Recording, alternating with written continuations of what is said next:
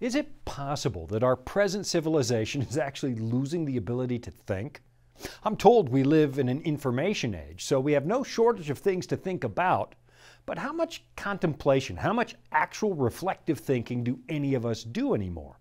That's what we're going to look at today on Authentic.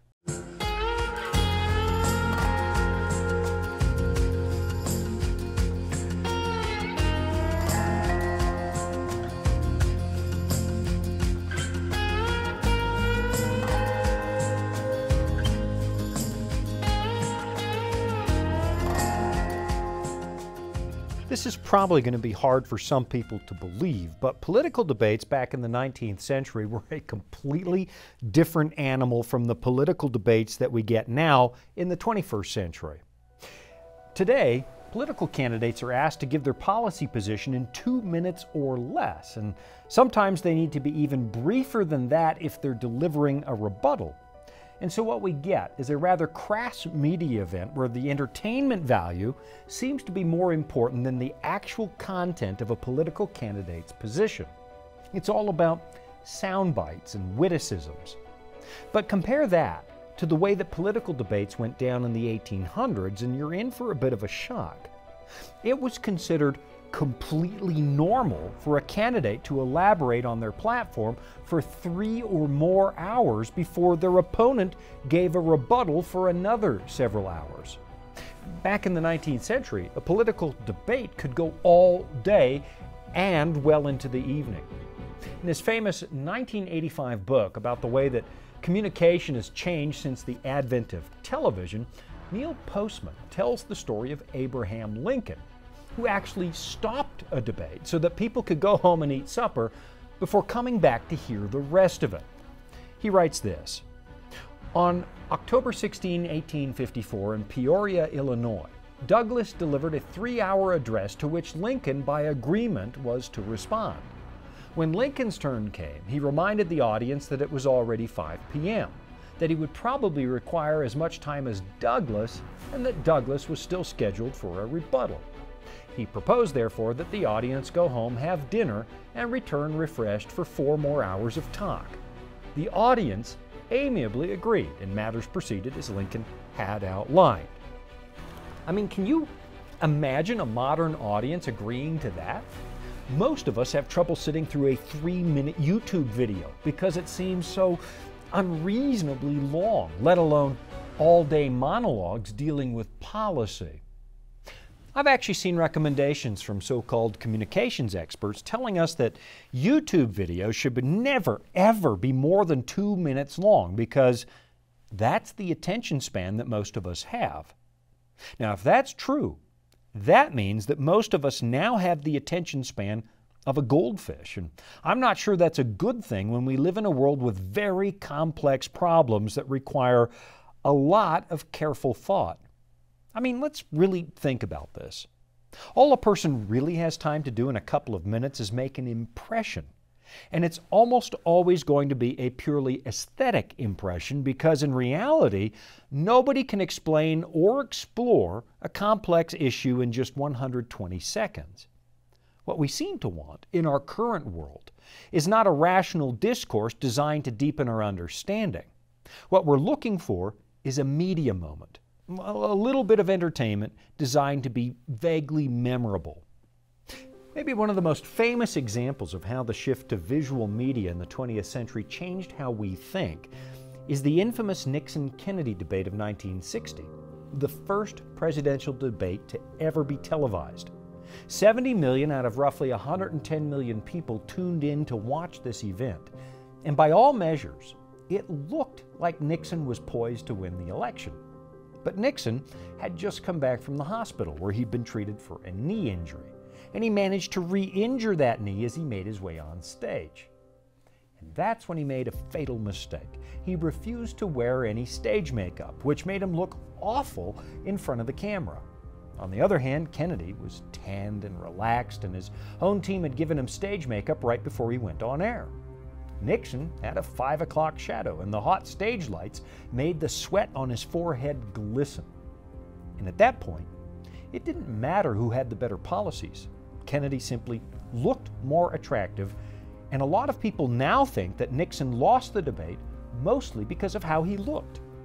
In the past, most Americans only knew their presidential candidates through the written word, so how they looked was pretty much irrelevant. In fact, one author I recently read suggested that if any one of the first 15 American presidents had walked down a street in broad daylight, most people would never recognize them because they had no idea what the president looked like. Now, there are people who still argue that the 1960 debate was not really a matter of style over substance and that Kennedy won on the weight of his arguments. But still, it's obvious that the shift toward visual communication made personal aesthetics much more important than they used to be. I mean, let's go back to the Lincoln Douglas debate one more time and just think about this. Very few people really thought Abraham Lincoln was good looking. And back in 1858, nobody actually cared. Today, if a man like Lincoln wanted to run for office, he would be subjected to image consultants who might even suggest a little plastic surgery to improve his odds at the ballot box. So let's take that thought and now let's move to the world of religion. If you go back just a little bit to the era before TV, radio, or the internet, you'll notice something fascinating. The biggest names in Christianity were people who were known for their ideas and not for their image. If I mention people like Jonathan Edwards or George Whitefield or Charles Finney, most of you wouldn't be able to picture them in your mind unless you happen to be a history buff. These were people known for their ideas. They were mostly intellectual giants whose sermons would be considered exceptionally boring to a 21st century audience.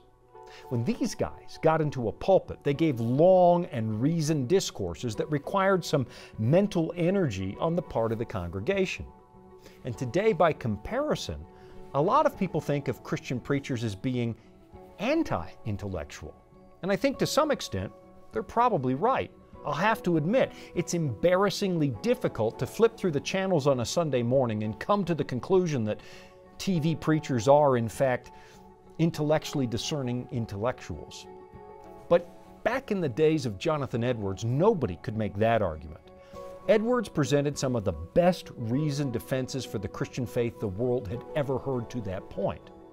The most notable preachers of the First and Second Great Awakenings were shaped by the influence of the Enlightenment and the Protestant Reformation, both of which were movements that promoted careful reason and rational discourse.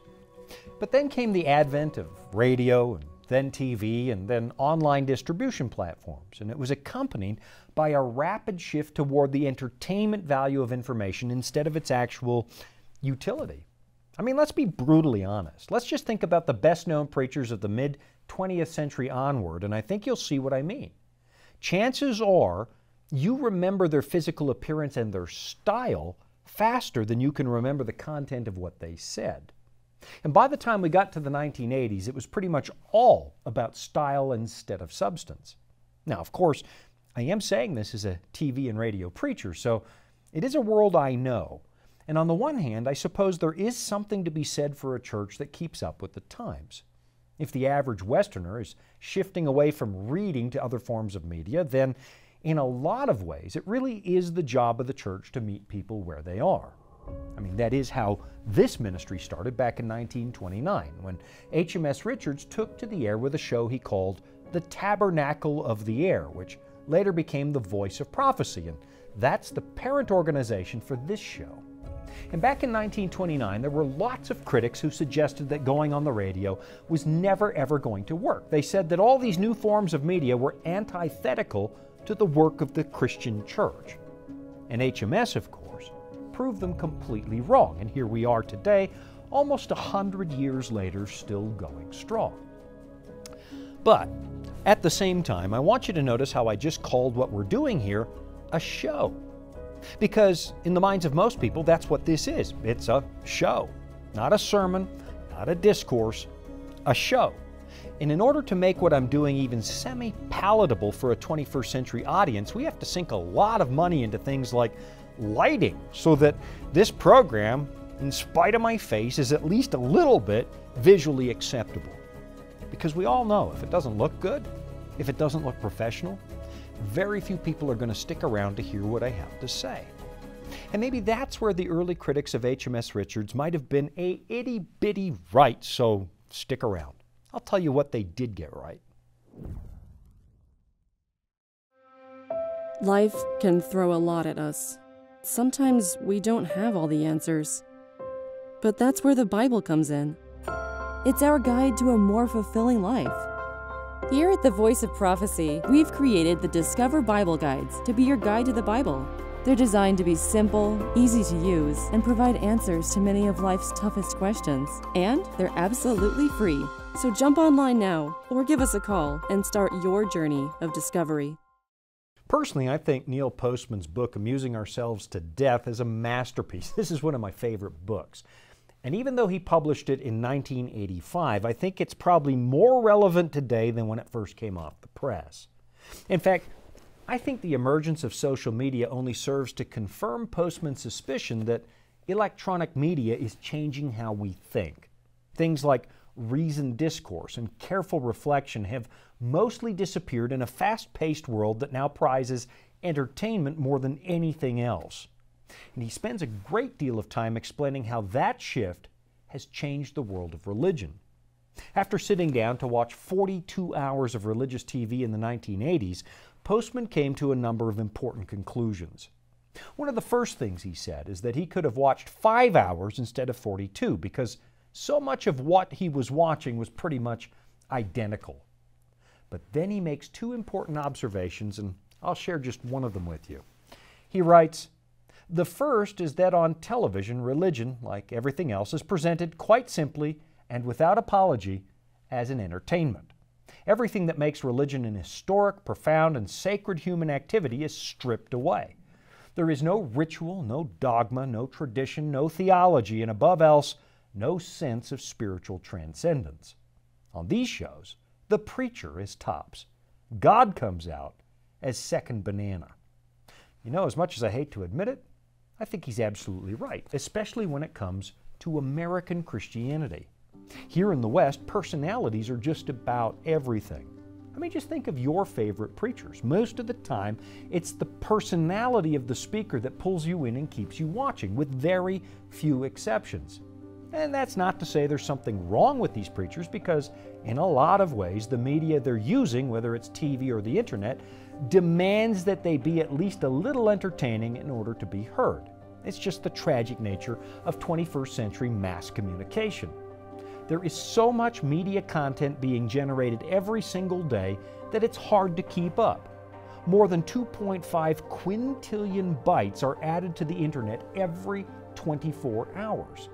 And most people feel like they have to do something entertaining to just get noticed. Exhibit A might be TikTok, where screaming for attention seems to be the modus operandi. So, in some ways, I can't really blame people for the way things are going. But at the same time, I, I can't help but feel sorry about the incredible price we've paid for this so called advancement in the world of information. I mean, the key source of information for the Christian is this book, the Bible.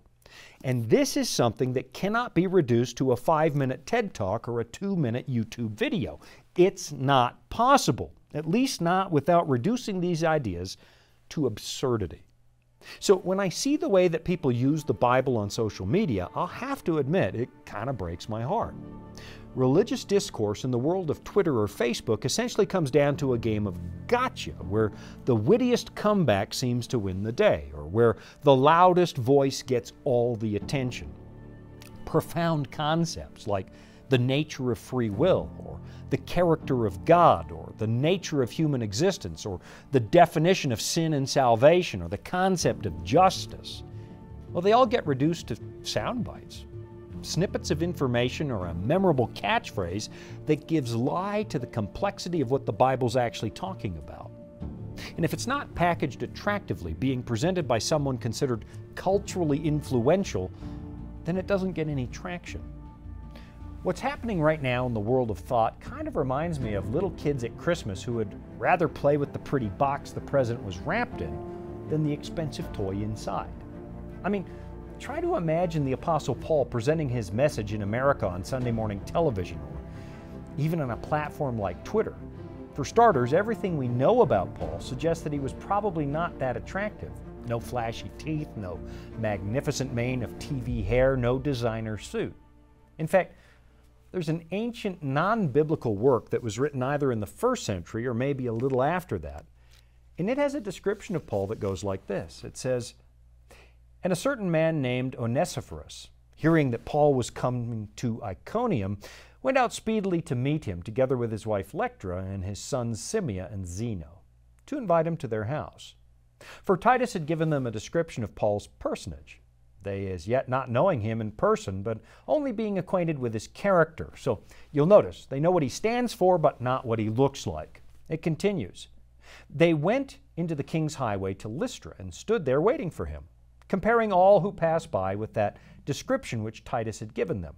At length they saw a man coming, namely Paul, of a low stature, bald or shaved on the head, crooked thighs, handsome legs, hollowed eyed, and had a crooked nose. Of course, that's not part of the inspired body of Scripture, so you can't just take this at face value. And the church father Tertullian actually condemns some of this book's teachings as outright heresy. But what we should understand is that the bishop who wrote this said he was writing that to honor Paul. And I suspect that if this was written today, there's no way the author would include a physical description of Paul that was anywhere south of flattering. But times were different back then. I mean, just compare that to some of the more popular preachers of our day, and I think you'll see what I mean. Western Christians have come to expect perfect haircuts, expensive suits, whitened teeth, and all the trappings of material success. And I have a sneaking hunch that Paul might have had a harder time getting traction today than he did back in the first century. Then add to that the weight of Paul's writing, the sheer mental discipline required not only to write it, but to read it and understand it. Paul's letters are very careful and brilliant bits of reasoning that wouldn't work as a TED Talk or a 280 character tweet. And all of these letters, including the incredibly complex book of Romans, were designed to read out loud in church, which means that the average Christian audience in the first century had a really good attention span, even though the majority of them did not come from educated backgrounds. I mean, can you imagine a modern audience sitting through a reading of the book of Romans and understanding every single word? I mean, it's not like this is easy stuff because even the Apostle Peter complained about the brain power needed to wrap your head around the stuff that Paul was writing. Here's what Peter said about the people who were taking Paul's writings and twisting them to make them say what they wanted. He says, Therefore, beloved, looking forward to these things, that's the second coming, be diligent to be found by him in peace without spot and blameless. And consider that the long suffering of our Lord is salvation, as also our beloved brother Paul, according to the wisdom given to him, has written to you, as also in all his epistles, speaking in them of these things, in which are some things hard to understand, which untaught and unstable people twist to their own destruction, as they do also the rest of the Scriptures. So, what exactly am I driving at? Well, I've got to take a really quick break, but don't you go anywhere because I'll tell you what I'm driving at in just a moment. Dragons, beasts, cryptic statues. Bible prophecy can be incredibly vivid and confusing. If you've ever read Daniel or Revelation and come away scratching your head, you're not alone. Our free Focus on Prophecy guides are designed to help you unlock the mysteries of the Bible and deepen your understanding of God's plan for you and our world. Study online or request them by mail and start bringing prophecy into focus today. You know, there's an interesting and rather famous passage in the book of Isaiah that looks forward into the future and predicts Messiah. And, and here's what it says at one point For he shall grow up before him as a tender plant, and as a root out of dry ground. He has no form or comeliness, and when we see him, there is no beauty that we should desire him. He is despised and rejected by men, a man of sorrows and acquainted with grief. In other words, Messiah would not be physically attractive. And we hid, as it were, our faces from him. He was despised, and we did not esteem him. Surely he has borne our griefs and carried our sorrows. Yet we esteemed him stricken, smitten by God, and afflicted. You know, when you go back and read the physical descriptions of Jesus written down by some of the earliest Christians, and you read what ancient church fathers like Origen or Clement said, it's not at all what you would expect after watching all the Jesus movies made in the 20th century. We like to think of Jesus as a movie star, but the ancients didn't think that Jesus was actually attractive. I mean, here's a description that comes from an old Russian version of the writings of Josephus. And honestly, it's not actually likely that Josephus wrote this. It's probably the work of an ancient Christian who slipped these words into the manuscript when nobody was looking. But it does demonstrate that this idea that Jesus was some kind of dreamy looking Hollywood celebrity with a golden mane and blue eyes, well, that's not how early Christians thought about him at all. I mean, if they did, why in the world would a practicing Christian slip this account into Josephus's manuscript? He wrote, he was a man of simple appearance, mature age, dark skin, short growth, three cubits tall. That's only about four and a half feet. Hunchbacked, with a long face, a long nose, eyebrows meeting above the nose so that the spectators could take fright, with scanty hair, but having a line in the middle of the head after the fashion of the Nazareans, and with an undeveloped beard. Now, again, there's a lot of reason to doubt that this was real. Because after all, whoever wrote it was trying to pass this off as the work of Josephus. So we're dealing with a less than honest person. So if there's any truth there, it's probably a gross exaggeration, but the fact remains that most early Christians did not think Jesus was handsome. And that does line up with what Isaiah predicted.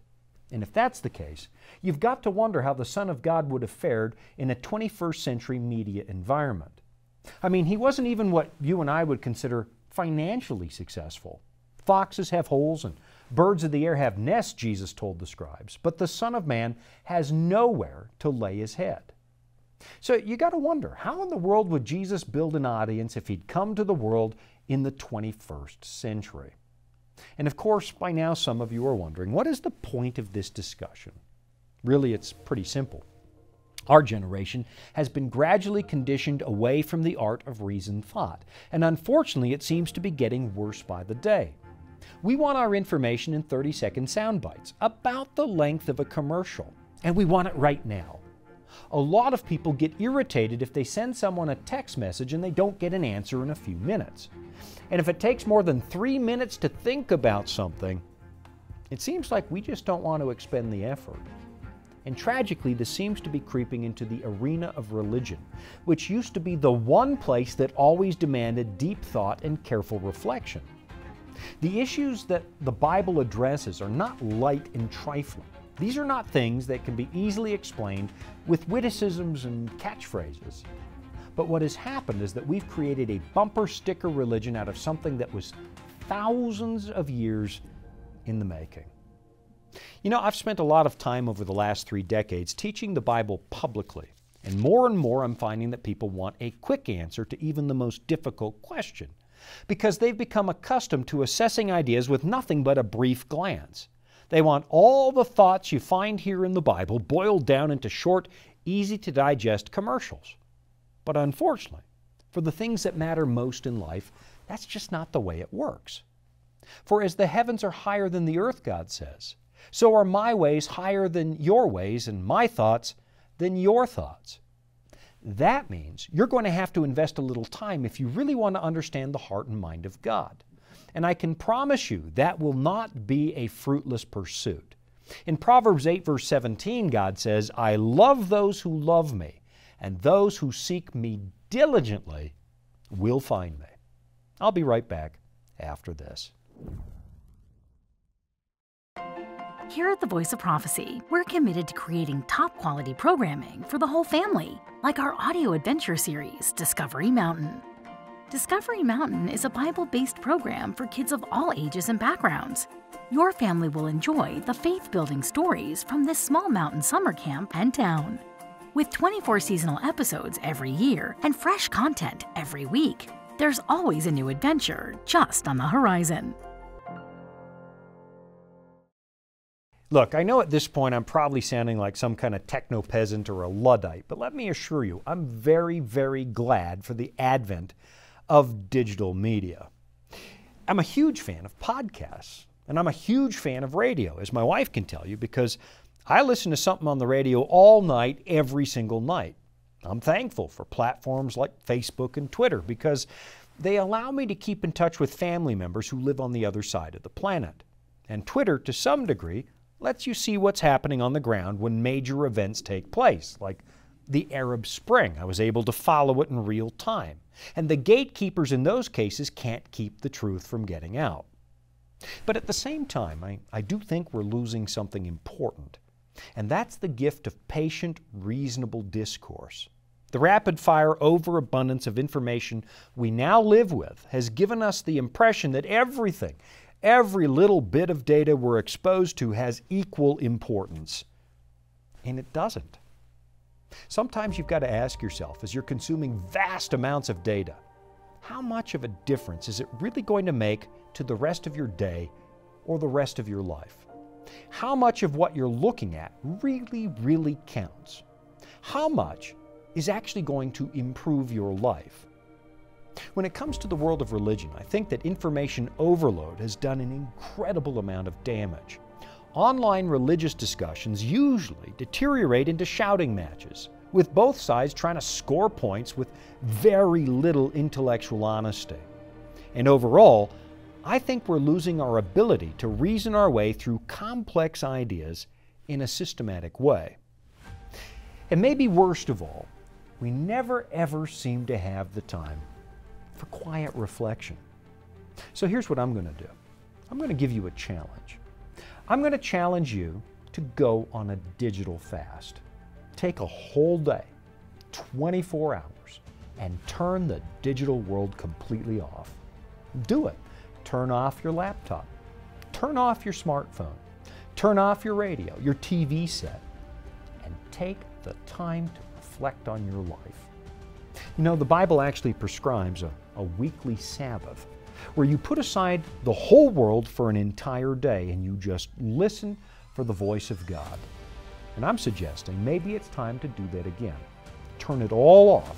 Maybe grab a copy of the Bible and just read it for yourself. Not books about the Bible, but read it for yourself carefully and slowly.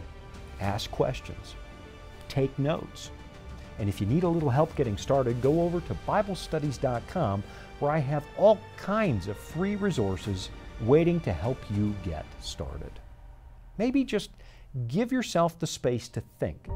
And I think you'll be pleasantly surprised by what the Bible actually says because this is not just entertainment. I dare you.